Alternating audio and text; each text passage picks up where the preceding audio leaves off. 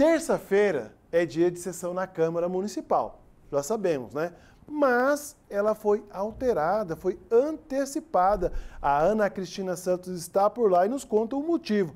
Ana, tá com você. Olá, Isael. Olá a todos que acompanham o TVC agora. Pois é, hoje sessão ordinária, né? A sessão sempre acontece às terças-feiras, mas foi antecipada para hoje, segunda-feira, porque amanhã a maioria dos vereadores vai participar de um congresso que vai acontecer em Campo Grande. Então, por isso é que foi antecipada a sessão que aconteceria nesta terça-feira, tradicionalmente já, foi antecipada para hoje, segunda-feira. E na sessão de hoje, vários projetos importantes em tramitação, em análise. Um dos projetos que gerou mais polêmica na sessão de hoje foi o que prevê benefício, um auxílio moradia e alimentação para médicos do programa Mais Médicos do governo federal.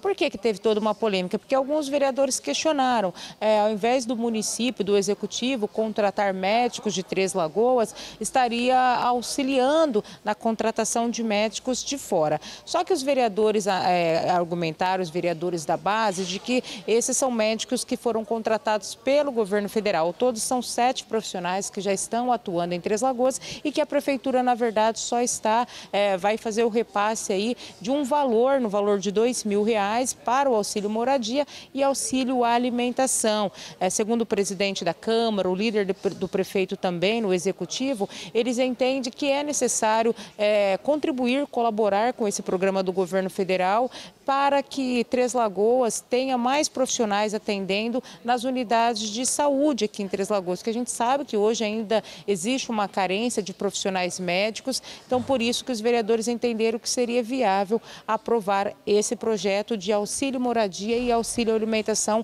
para esses profissionais, os médicos que já estão atuando aqui em Três Lagoas, é, através desse programa Mais Médico do governo federal. Então foi um dos projetos que gerou bastante polêmica, mas foi aprovado na sessão de hoje hoje.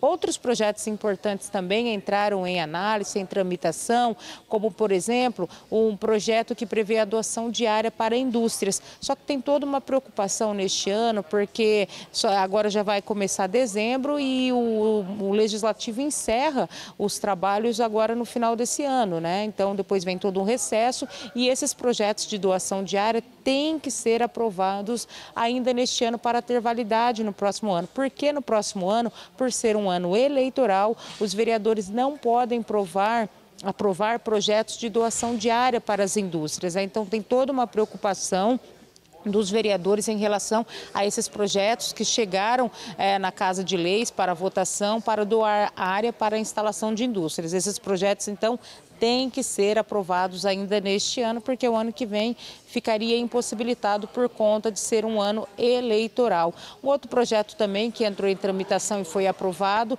é o que prevê uma parceria público-privada para o serviço de iluminação pública em Três Lagoas. Já teve até audiência pública para se debater esse assunto. Esse projeto ele foi incluído na lei orçamentária anual do próximo ano e prevê melhorar o sistema de iluminação pública aqui em Três Lagoas. Então foram alguns dos projetos é, em tramitação e aprovados na sessão de hoje. Mais informações vocês acompanham no portal de notícias RCN 67. Logo mais às 17 horas tem reprise, às 19 horas tem reprise da Câmara também. E amanhã cedinho, é claro, no RCN Notícias, a gente traz todo o desdobramento da sessão desta segunda-feira. Eu volto aos estúdios com vocês, Ael.